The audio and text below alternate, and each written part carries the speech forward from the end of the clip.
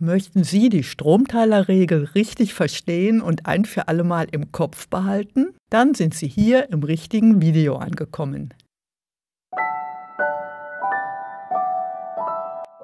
Hallo und herzlich willkommen hier bei Elektrotechnik-Rezepte. Es waren einmal acht Wichtel, die waren gemeinsam unterwegs zurück in ihr Heimatdorf. Schließlich kamen sie an eine Weggabelung. Auf dem einen Schild stand Schwieriger Weg. Der Weg ist unübersichtlich, es geht über hohe, finstere Berge und es wird richtig kalt und zu essen gibt es auch nichts unterwegs. Auf dem anderen Schild stand Einfacher Weg. Der Weg ist befestigt und ohne Anstiege. Die Aussicht ist richtig schön. Es wird richtig warm und unterwegs gibt es auch richtig gute Gasthäuser. Da sagten fünfte Wichtel ganz spontan, Oh, wir nehmen natürlich den einfachen Weg. Wir möchten nämlich schnell wieder zu Hause ankommen. Aber drei von ihnen wählten den schwierigeren Weg, weil ihnen der einfache Weg einfach zu langweilig war. So gingen alle ihres Weges und trafen sich schließlich nach einer Zeit wieder an dem Ort, wo beide Wege zusammentrafen. Sie wanderten weiter und kamen wieder an eine Weggabelung. Auf dem einen Schild stand sehr schwieriger Weg. Der Weg ist extrem unübersichtlich. Es geht über hohe, finstere Berge. Es wird richtig, richtig kalt. Zu essen gibt es nichts. Und es gibt gefährliche Drachen unterwegs, die beliebig ungemütlich werden können. Auf dem anderen Schild stand wieder einfacher Weg. Da war der Fall ganz klar und sieben der Wichtel nahmen den einfachen Weg.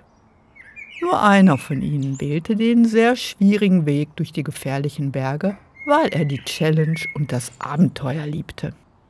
So gingen alle ihres Weges und trafen schließlich wieder an dem Ort zusammen, wo beide Wege zusammentrafen.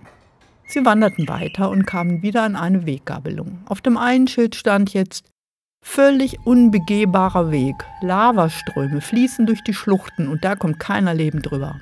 Auf dem anderen Schild stand wieder Einfacher Weg.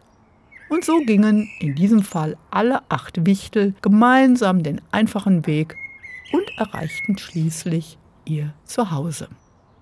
Bei dieser Geschichte konnten wir also sehen, je schwieriger der rechte Weg gewesen war, umso mehr wurde der linke, also der einfache Weg beschritten.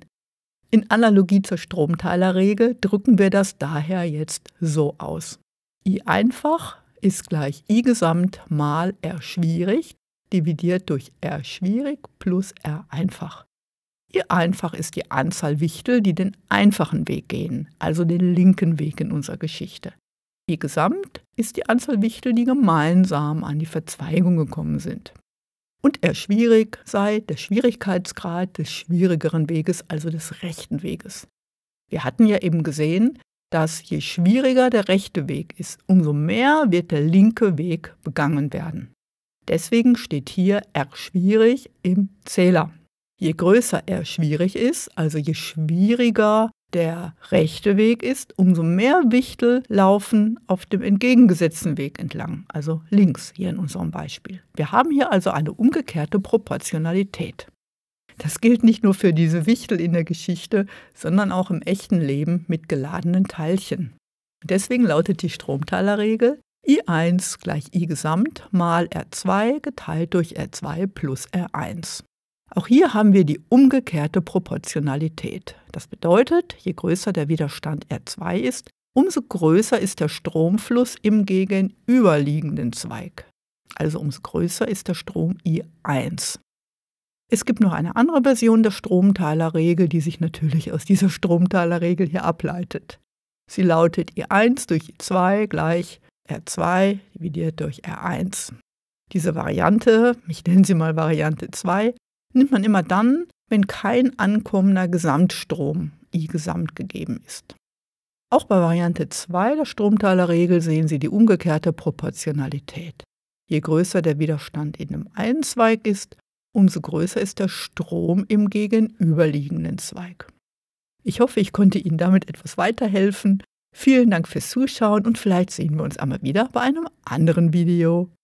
Bis dahin wünsche ich Ihnen alles Gute und Tschüss.